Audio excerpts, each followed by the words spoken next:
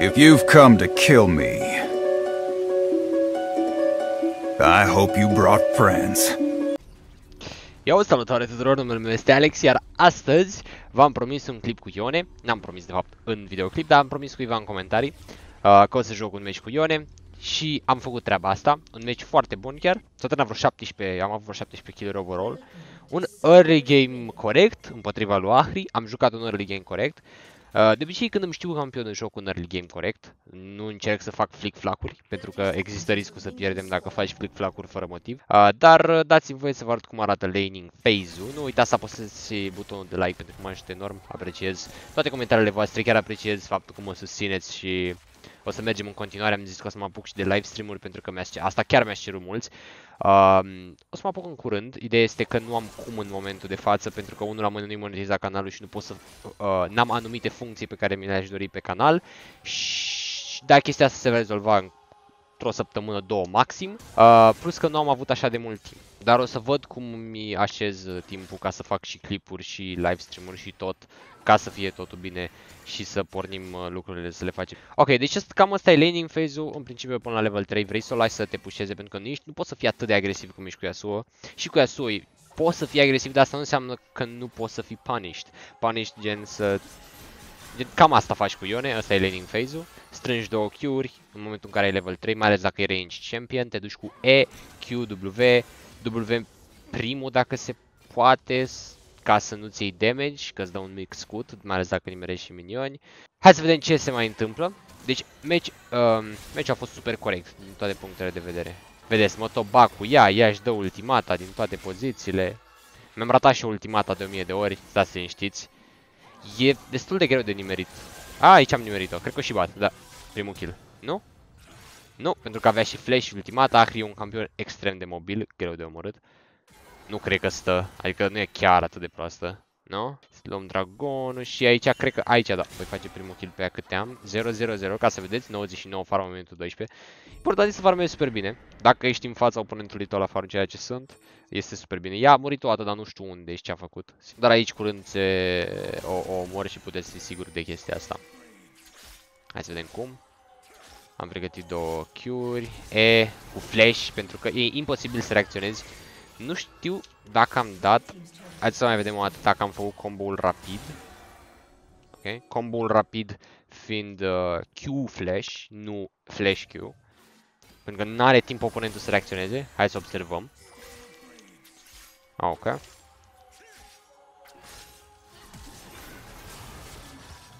apărut Q flash, nu-ți dai seama. A apărut Q flash, sunt sigur că Q flash am vrut să-mi fac. Ok, și Mudir care stătea acolo. Nu cred că mă bate că nu mă prinde. Ok. Bun. Aici se pare că o mai omor o dată. Să vedem cum. Probabil într-o luptă Messi. Deși lupta aia a fost foarte bună. Așa și trebuie să se omore oponentul în momentul în care îți știi campionul foarte bine, știi damage-ul, știi ce poate. De-aia e bine să ai main. De-aia e bine să cunoști campionii cu care joci. Ok. Ok, aici am un bug. Nu știu dacă îmi dau ultimata, nu cred, cred că pur și simplu o omorâm. Da. Sunt peste tot pe hartă cu campionul ăsta. E un campion foarte puternic, cu un lei e mult mai bun decât Yasuo. Deci, fanii faptul că mulți oamenii consideră la fel și că ar trebui să joci la fel, sunt asemănători, dar nu sunt la fel. Uh, e diferit Ione. Ione trebuie jucat diferit față de Yasuo într-un fel sau altul. Dar la level 3 ești foarte, poți fi foarte agresiv și poți să ai niște trade-uri extrem de bune. Da, și meciul ăsta am avut o Yumi care la un moment dat a început să stea doar pe mine și vă dați seama că lucrurile au început să meargă bine și funny. Aici văd că a fost o luptă, o bătaie, o chestie, low HP, n-am vrut să mă mai bag, dar am, tot am zis eu să fac o prostie și să mă bag, sunt sigur. Ok. Aici am pușat și aici nu știu de ce am intrat. Mă, am zis că îl scop pe set, dar, na, am făcut-o prost. Cred că ăsta a fost singurul play extraordinar de prost pe care l-am făcut. Nu trebuia să intru aici, pur și simplu. Dar atât. În rest ar trebui să fie ok. Hai să vedem. Aici îl văd pe fraierul ăsta. Te prinde, pentru că e brand. Are flash, are tot ce vrea el. Nu, nu mai are sens să-l urmărim. Eu și cu a mea pisică, cu a, with my pussy, stăm și... Chiar dacă nu o prins cu ultimata, e un gap closer perfect. Dacă cam E și o prind. Sau nu. Pur și simplu îi dau predict unde e. Că nu aveam viziune, puteți vedea. Aici cred că 100% mor, deși cu Yumi este... Ok, și un tir care mă aștepta Țin minte cât am râs. Doamne cât am râs când am văzut că mă aștepta Udir acolo. Mi s-a părut super funny. Ok. Principiul build-ul pe e destul de simplu. Uh, e cam, cam, ca, cam același ca PSU. Uh, deși eu nu sunt mare fan al itemului ăsta, Immortal Shield Bow, e un item extrem de scurt, costă vreo 3300 gold dacă nu mă înșel. Dar ăsta e primul item pe care vrei să-l faci rush. Dar pe Ione este foarte bun pentru că e un duelist mult mai bun. Uh, Blade of the Ruin King e mai must pe Ione decât pe Yasuo, aș spune. Cu flash, da, Udir cu flash, dar eu îmi dau ultimat, că o scoatem lejer pe Acri. Îl putem scoate și pe ăsta, dar Udir mi-a mai dat încă un stun pe lângă stunul lui Brand și e distractiv jocul, nu? No? Ar trebui să-i jur, exist, există un, un uh, mod, pentru că tenacity-ul nu te ajută la foarte multe stunuri. E ok, dar nu e suficient. Nu-i fun să nu joci jocul nu știu câte secunde, știi? Și nu că e un mare chain CC și... Nu, e că vine Leona EQ, mai vine Trash QE și mai vine încă unul cu un stun și aia e, gen, tu ai murit în stunul ăla, gen.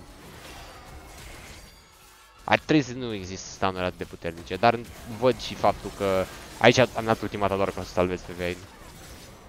Fiindcă îi dă un knock-up. Mamă, Jul a băgat Jinx. L-aveam pe Sion, care era mare split pusher el. Principiul Eul lui Ione trebuie... Cred că Eul lui Ione este cea mai interesantă parte din kitul lui. Uh, de abilități. Dacă înveți să-i folosești Eul, cum trebuie, te asigur că vei deveni un Ione bun. EU este ceea ce... EU și ultimata de normal să o nimerești, să fii consistent cu nimeritul ultimații. Uh, dar ceea ce, face pe, ceea ce face diferența între un Ione bun și un Ione slab este EU-ul. Cât de bine știi să-ți dai EU-ul și dacă ți-l folosești. Uh, poți să-l dai să faci un play peste zid, poți să ți-l dai pur și simplu să împingi dinamicul, poți să-l dai să faci un trade pentru că știi că poți să te întorci. E importantă uh, locația de unde ți-l dai pentru că există riscul să mori când te întorci. M-am pățit eu cu Udir. Adică nu poți să-l dai pur și simplu așa ca pe orice abilitate. Din păcate mai fac și eu asta din când în când, dar trebuie să încerci să-l dai cât mai creativ pentru că e o abilitate foarte faină. Ia să vedem ce se mai întâmplă. Uh, Build-ul în momentul ăsta deja N-am Infinity Edge, nu mi-am dat back, dar sunt convins că am o grămadă de bani. Au murit mulți oameni. Hai să vedem. Nice, nice, nice. Ok. Iar cu somnic, mă cu somnic. Ia să vedem. Ultimată pe Jinx, era cred că cea mai fi dată de la ei. 5. Hmm, ia și Udir. E ok. Stomping meciul ăsta și Volibear 10-1. Vă rămiu. Am jucat și meciul ăsta tot cu el. 7-3 de la Ione. Oliver fi dat. Vayne, nu știu de ce, dar n-am mai văzut Vayne bot care să existe în jocul ăsta. Orice Vayne în momentul ăsta este slab, rău, rău, rău, rău, rău. Nu există o Vayne care să joace bine pe botlane. Ori este vina lor, ori Vayne este extrem de slabă ca și campion, nu știu. Ok? Am și un match pe care tocmai l-am jucat cu MF, am dat stomp inamicilor.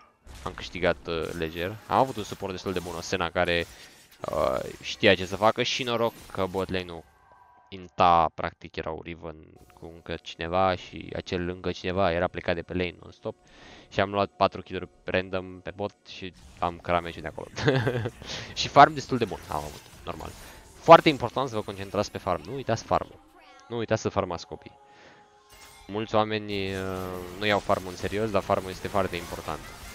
Chiar dacă n-ai parte de multe kill și așa mai departe, poți să farmezi. Ok, mi-am dat ultimata, a fost un play interesant. Puteam să supraviețuiesc, încă nu suficient de fidat. Dacă aveam, de exemplu, Blade of the Ruin King aici, era diferită situația, cred. Și dacă puteam prinde ultimata pe mai multe persoane decât pe set. Am încercat să fac un outplay să-mi dau ultimata peste ultimata lui, era chiar funny. Uite, de exemplu, ăsta era un play cu ultimata, cu EU. Hai să mai dăm o dată, că să vedeți.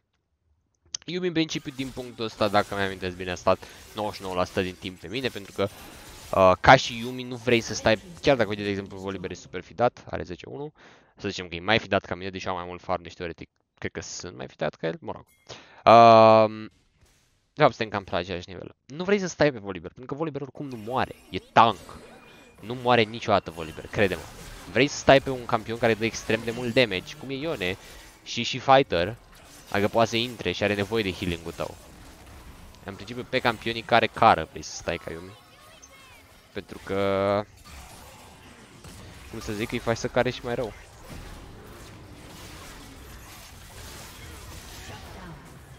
Ok. Ok, boys. Easy peasy. Deja, na. Yumi, Ione, fi dat. Na. Bătăi în continuare. Din păcate, meciul a durat foarte mult pentru că este... Uh, Vormeu nu prea știe să încheie meciuri. El știe ce să facă în ele, dar nu știe ce să mai facă din punctul în care, de exemplu, e fi dat, cum e acum. Și cum să încheie meciul mai repede. Nu știe. Asta, e, asta a fost problema în multe meciuri și e problema în multe meciuri când joc cu el. Dar e ok. Nici eu nu sunt expert, dar am o idee cam ce ar trebui să facem ca să încheiem meciul repede. Să nu-i mai lăsăm pe ăștia să-și revină. Deși Udyr e încă level 14, iar eu am 17. Dar e, e ce ok. Da. Nu e rău. Nu e rău. Îmi place și Ione foarte mult. Ione în principiu e mai bun decât Yasuo. Dacă e să iei din punct de vedere al abilităților și impactului pe care îl poate avea în joc, e mai bun decât Yasuo. Ultimata la Yasuo e greu să o prinzi de multe ori. Trebuie să dai dublu Q, trebuie să îi ridici pe toți ca să ai ceva impact. Cu Ione, dacă îi prins pe toți într-o situație bună, ai apăsat R și poți să-i prinzi. E... E altceva, e mult mai ușor. Gank-urile sunt mult mai bune, gândești, gândești, gândiți-vă cu Yasuo că dacă faci roam, tu trebuie să dai două cure, dacă n-ai un engage support care să dea un knock-up pe bot, un Nautilus sau ceva, un Blitz, un Trash poate, nu faci nimic. E destul de slab Yasuo în momentul ăsta. Îi trebuie campioni ca să-l ajute, aș spune. Uh, Ione e mai ușor de, e mai bun de climb, cred că. Ok, aici cred că am, da, am zis dăm back, că n-are niciun sens, mergem luăm baronul și câștigăm după. Nu cred că ne dau contest. De ce sunt singur aici și mă bat cu... Ce se întâmplă? Nu, nu știu, sunt singur. Se pare că mă duc să iau și Nex și Hibu de sus. N-am la... sau avem baronul deja luat, nu știu. Ăsta Brand încearcă să facă el... Zic, el e nebun. Ah, ok. Sete este un mare campion. Campionul lui mama ele. Așa. Ok. Interesant e că n-am ultimat, dacă o aveam, cred că făceam play ăsta mult mai interesant. Dar și așa, deja vedeți cu build-ul pe care l-am și cu lifestyle-ul pe care l-am. Cred că am și Blade of the Ruin King, da, am Blade of the Ruin King, Bloodthirster și Immortal Shield Bow. E combo perfect. Când ești așa pe Yasuo sau pe Ione, deja ești super OP. Mai ales dacă nu ești stuck in hard CC. Și cu Ione e mai ușor să dai avoid. Că ai EU, te poți întoarce. Hm. Cu Yasuo, dacă n-ai minioni, EU tău nu există, practic. Poți să-l dai o dată pe un campion. Și cam așa e. Gata. Și asta e meciul. Un clip destul de scurt, nu voiam să-l fac foarte lung. Voiam doar să vă arăt play-urile. Nu prea aveam ce să vă învăț din meciul ăsta, pentru că n-a fost din punct, din punct de vedere al laning phase-ului, a fost un meci corect, dar ce n-a fost uh, extrem de corect, să zicem, uh, a fost faptul că noi trebuia să încheiem meciul mult mai repede. Meciul a durat 34 de minute, nu trebuia să se întâmple chestia asta niciodată, dar aici, repet, e și faptul că am cărat singur, cred că 17, 4. Ideea e că în momentul în care doar eu sunt fidat, bine era și Volibear, dar repet, Volibear chiar nu știe să, să încheie meciuri early. Nu știe gen ce are de făcut. Nu e o chestie foarte grea. În principiu tu trebuie să dai punish la tot ce vor să facă inamicii tăi, pentru că ești mai fidat decât ei și poți în momentul în care ei vor să facă ceva să le dai contest la red buff, la... Poți să-i pușezi, le iei toate buff-uri, le iei toate, toate jungle camp-urile, le, iei, le dai turnurile jos, îi faci să se grupeze, după aia cu echipierii tăi poate să facă split push. Dar lucrurile astea merg undeva unde cu echipierii tăi sunt pe o oarecare aceeași pagină cu tine, să zicem. Să zicem. E un joc în echipă, până la urmă nu poți să faci tu totul solo. Da, și am mai jucat unul cu Akali, unul cu Yasuo pe care îl știți. Ăsta cu Twisted Fate trist rău, rău, rău, rău, rău, rău, rău, rău, rău. De ce l-am pierdut? A, pentru că aveam un Nasus cu 11-2 de ani zis și zis să joc Nasus, ceea ce și cred că o să fac în meciul viitor. Deci vă pup, fraților, mă duc să joc un meci cu Nasus, să le dau la ăștia în cap cu ciocanul și să stau pe lane AFK și să farmez.